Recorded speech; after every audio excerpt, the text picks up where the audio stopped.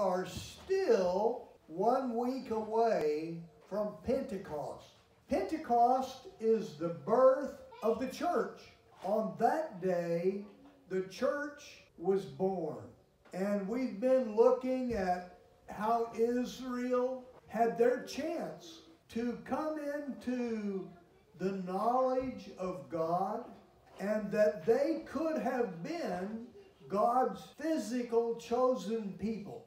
But they said, no, no, we don't want this close relationship with God. We'll just talk to Moses and you tell him what you want and he'll tell us. And the church, for the most part, has come into that same understanding in the 21st century. We don't really want God messing with our lives. So we'll just get fire insurance. We don't want to go to hell, so we're just going to get fire insurance. And that would suffice. And so the church has settled for a whole lot less. And we've been talking about that and how in preparation for Pentecost, God wants the church to be like Jesus was. That's what he gave us the Holy Spirit for. Not just eternal life, but that we might have the power of God to help people get healed, get saved, to know God. But today I'm going to back up a little bit and I'm going to take you through from the cross to the preparation for Pentecost. What God did in that interim period from the time Jesus died till the time that he ascended and what he told the disciples to do. So I'm going to back up to after Jesus died on the cross. It says in John chapter 19, verse 38, it says, After this, Joseph of Arimathea, being a disciple of Jesus, Joseph was one of the Pharisees that early on rejected Christ, but Joseph came to accept Jesus Christ as the Messiah. And it says here, being a disciple of Jesus, but secretly. So we know that there are secret Christians, people who don't really want everybody to know that, but yet they have accepted Jesus, but secretly for fear of the Jews. I mean, if they crucified Jesus, the same fear was upon Joseph as was on the disciples, why they all went into hiding. He asked Pilate that he might take away the body of Jesus, and Pilate gave him permission. So he came and took the body, and Nicodemus, who at first came to Jesus by night, remember Jesus said, You must be born again. He told that to Nicodemus back in early parts of John. Also came bringing a mixture of myrrh and aloe. You know, we thought that us 21st century people were the discoverers of aloe vera. Well, it says here that they had a mixture of myrrh and aloes, about a hundred pounds. Can you imagine? A hundred pounds of aloe vera and myrrh. I mean, that was a lot of bucks back then. And then they took the body of Jesus and bound it in strips of linen. They wrapped his body around and around and around with strips of linen with the spices, as the custom of the Jews is to bury. Now, in the place where he was first crucified, there was a garden. Remember me telling you that from the cross, you could look across the Kidron Valley and see the eastern gate and the temple area. That means that the place of the cross was over in the garden area. So there was a garden where the cross was, where they took Jesus down from the cross. And in the garden, there was a new tomb in which no one had yet been. Joseph had prepared himself a tomb, and he gave that tomb to Jesus. So there they laid Jesus because of the Jews' preparation day. Remember that this was the beginning of the Sabbath, and you could not be in the presence of a dead person after sunset and still go through the holy time of the Sabbath, which was also in preparation for the Passover. So there were lots of rules that kept them from crucifying Jesus on the Sabbath. And so they had to have everything done before sunset. And it says, for the tomb was nearby. So they took him down, and at three in the afternoon, he was going through the cross and suffering. And so in chapter 20, it says, Now on the first day of the week, that was the day after Sabbath, and it's beautiful how the church celebrates Easter Sunday. And now here it says, now on the first day of the week, which was Sunday after the Sabbath. So Saturday, there's nothing spoken of about Saturday, but the following Sunday morning, it says, Now on the first day of the week, Mary Magdalene. Remember that Mary was a demon possessed woman who was delivered. She was of ill repute. And so Mary Magdalene went to the tomb early while it was still dark and saw that the stone had been taken away from the tomb. Then she ran and came to Simon Peter and to the other disciple. Now, the other disciple was John, and he was also the disciple that Jesus loved. And he refers to himself in there several times as the disciple that Jesus loves whom Jesus loved, and said to them, They have taken away the Lord out of the tomb and we do not know where they have laid him. And Peter, therefore, went out and the other disciple and were going to the tomb. So they both ran together, and the other disciple outran Peter and came to the tomb first. And he, stooping down and looking in, he saw the linen clothes lying there. Now, if they were going to steal the body, would they take time to unwrap the body. No, they would have just taken the body with the wrapping and stolen him away, but it, they didn't do that. It says that the linen clothes were lying there, yet he did not go in, the disciple that Jesus loved. Then Simon Peter came following him, and he went into the tomb and he saw the linen clothes lying there, and the handkerchief that had been around his head, not lying with the linen clothes, but folded together in a place by itself. These are things that the observers came in and they saw that his body went through the linen and it was left right there in a pile just as if his body had gone through it. And then he folded the napkin. In other words, he's going to be back. Then the other disciple who came to the tomb first went in also, and he saw and believed. For as yet they did not know the scripture. Remember that just like Jesus hadn't told them what was going to happen, they're kind of like, oh no, what are we going to do? He's dead. Our leader's dead. And they had not recalled what Jesus had said. It's important for you that I go away. If I do not go away, he cannot come. So that's why he's preparing them. Then the disciples went away again to their own home. But Mary, Mary Magdalene, Mary loved Jesus more than you and I can even imagine.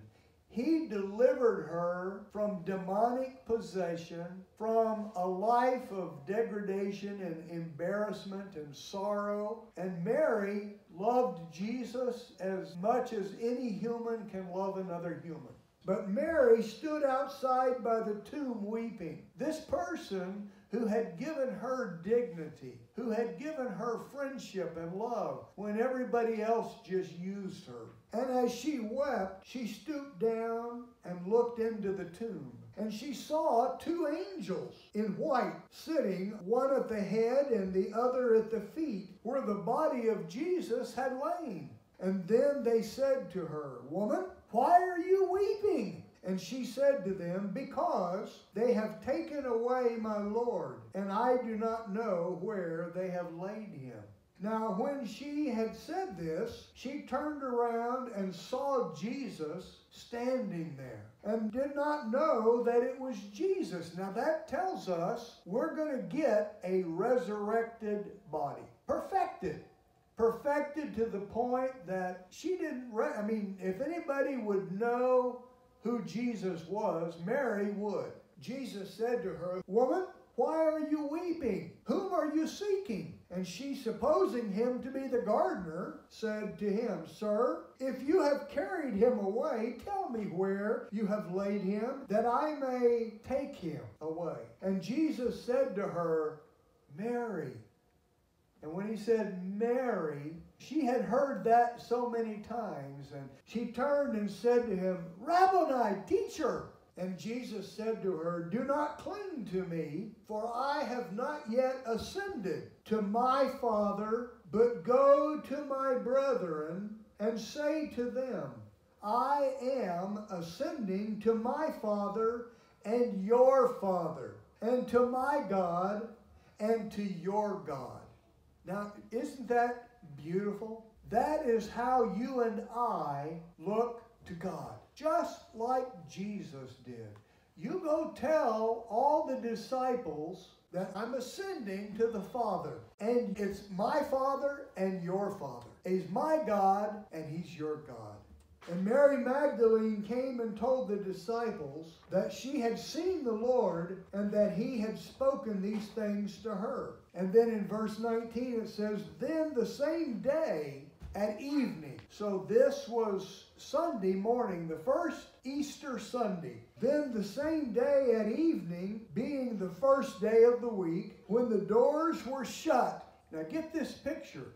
The doors were shut. They were afraid that the Pharisees and the scribes were going to come and take them away. And they said that when the doors were shut, where the disciples were assembled for fear of the Jews, Jesus came and stood in the midst and said to them, Peace be with you. First thing Jesus said to them, Peace be with you.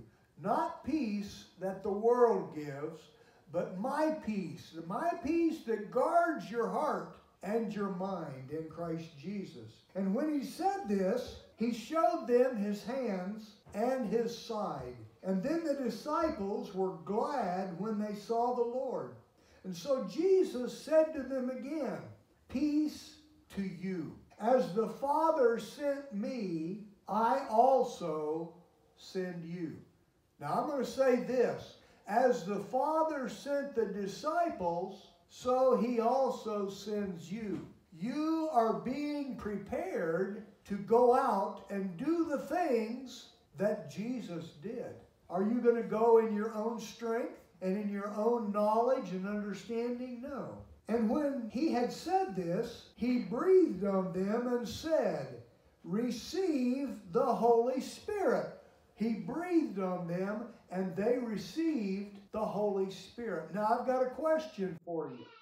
If that happened on the first day of the week, what did they receive right there? What did that Holy Spirit coming upon them indicate? You have any idea? Think about that. If this is the coming of the Holy Spirit, what happened at Pentecost? It was a second experience. See, when you believe that Jesus Christ is the Son of God, you receive salvation. You receive eternal life. They received eternal life right there.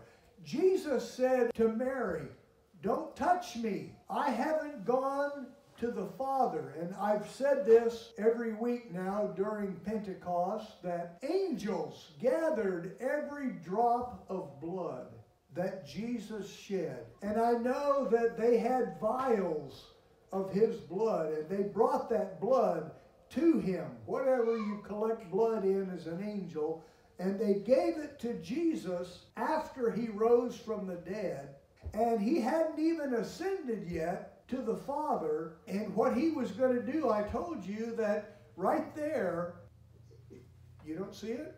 It's right there. And again, I do it on purpose because I want you to get that's real. And Jesus said that there's a temple right there. And Moses built a replica of what he saw in heaven. And Jesus took his shed blood, and this is why he said, Mary, I haven't ascended yet. And so Mary saw him there before. I mean, he's fresh out of the wrapping. And she was kind of stunned that Jesus was standing here. And he said, I've got to go, Mary. I'm going to go and take my blood right now and sprinkle it on the Holy of Holies in heaven. And when I do that, all of the sins, see what Jesus told the disciples, receive the Holy Spirit. And they received eternal life because he had gone and sprinkled his blood on the temple in heaven. And he came and he said, Receive the Holy Spirit. And then he said to them, If you forgive the sins of any, they are forgiven them. And it was kind of like, why would that appear there? It seemed like it was out of place. But Jesus was saying, for the first time, you have authority. You know, the priests in the Catholic Church have the power of absolution. They have the power to forgive sin or to retain sin because of that statement right there. But Jesus gave that to the disciples to the believers. That's what you and I have. We have the power of absolution, the forgiveness of sin. And we can share with anyone who has, I've sinned too much. I've worn out my welcome with God. And said, no, all you have to do is ask for forgiveness of sin. And all of your sins are forgiven. Everything you've done has been forgiven. Now, Thomas, called the twin, one of the twelve, was not with them when Jesus came. And the other disciples, therefore, said to him, We have seen the Lord. And so he said to them in private, Unless I see his hands, the print of the nails, and put my fingers into the print of the nails, and put my hand into his side, I will not believe. And after eight days, that's next Sunday, a week away, he only appeared to them on the Lord's Day. That's why Sunday is called the Lord's Day. He only appeared to them on the Lord's Day. And after eight days, his disciples were again inside, and Thomas with them. And Jesus came, the door being shut, and he stood in their midst. And he said again, Peace to you. And then he said to Thomas, Can you just imagine? It's kind of like Peter saying, Lord, I'll die. I'm not going to deny you. But he did. And Thomas, oh, he, he was bold and said, Until I stick my fingers in the nail scarred hands, I'm not going to believe. And Jesus said to Thomas, Reach your finger here and look at my hand, and reach your hand here and put it inside mine. Do not be unbelieving, but believing. Jesus says that to us. The most important thing you can do is believe. Don't be unbelieving. What is there that makes us doubt? What is there that makes us afraid to believe? And it's the devil. He wants us not to believe. And Thomas answered and said to him, My Lord and my God. And Jesus said to him, Thomas, because you have seen me, you have believed. And he goes on to say, Blessed are those who have not seen and yet have believed. That's us. Every one of us have believed, but yet we haven't seen. And truly, Jesus did many other signs in the presence of the disciples, which are not written in this book. But these are written that you may believe that Jesus is the Christ, the Son of God, and that believing you may have life in his name. If you can believe this, you have eternal life.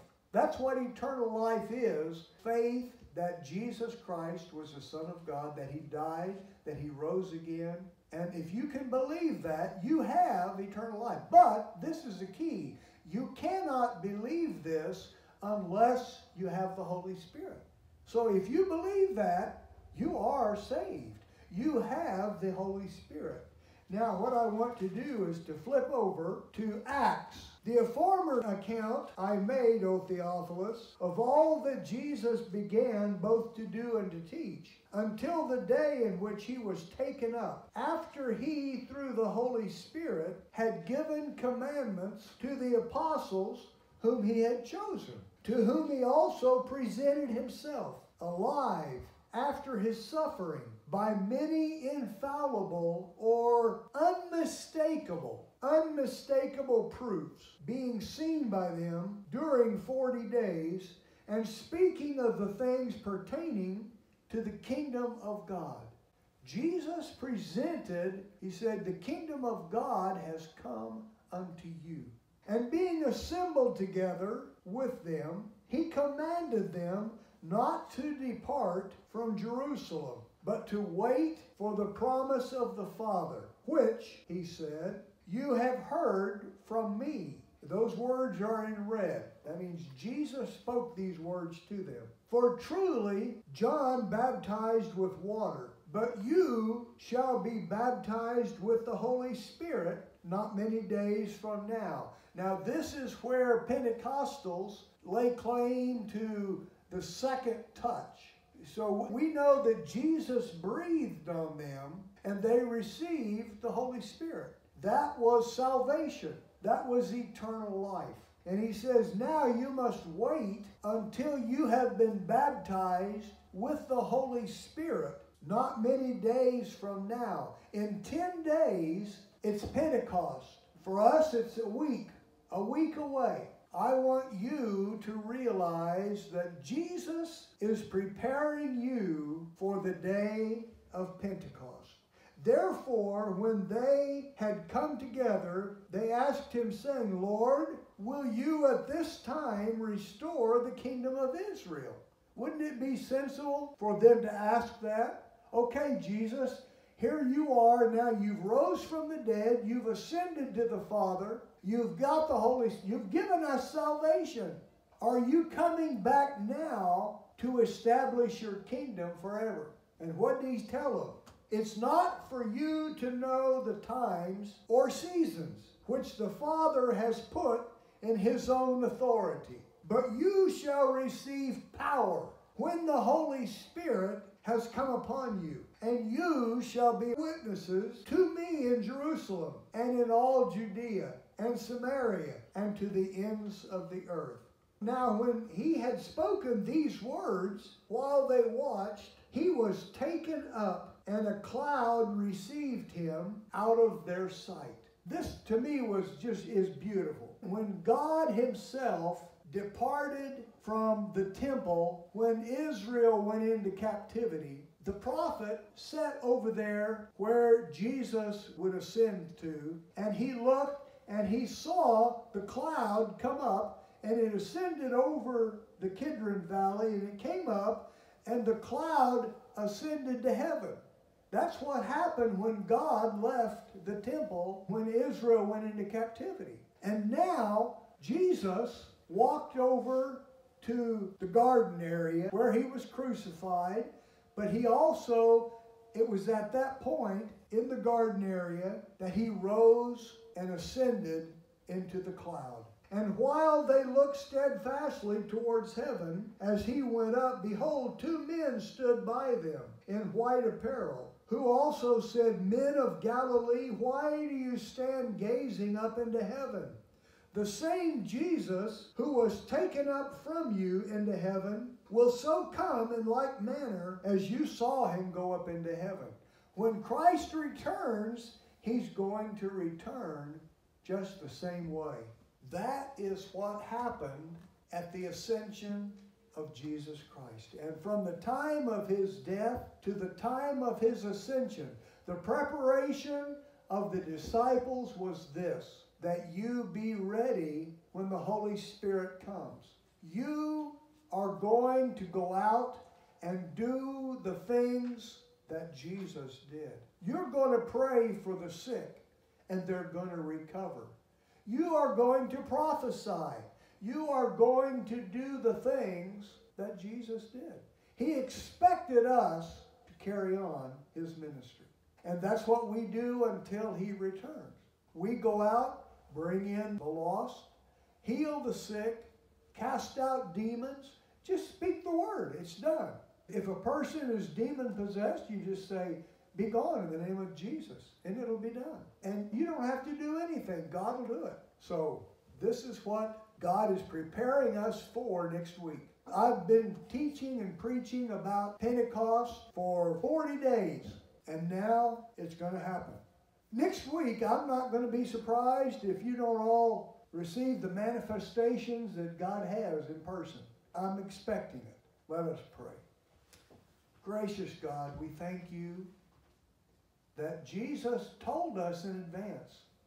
It's important for you that I go away. And Lord, for 2,000 years you've been away. And Lord, you have given your Holy Spirit to us who believe. And Lord, now you expect us to go out and bring in those who do not believe that they may believe, that they may be healed. And you've given unto us authority, you've given unto us power. Let it be in Jesus' name.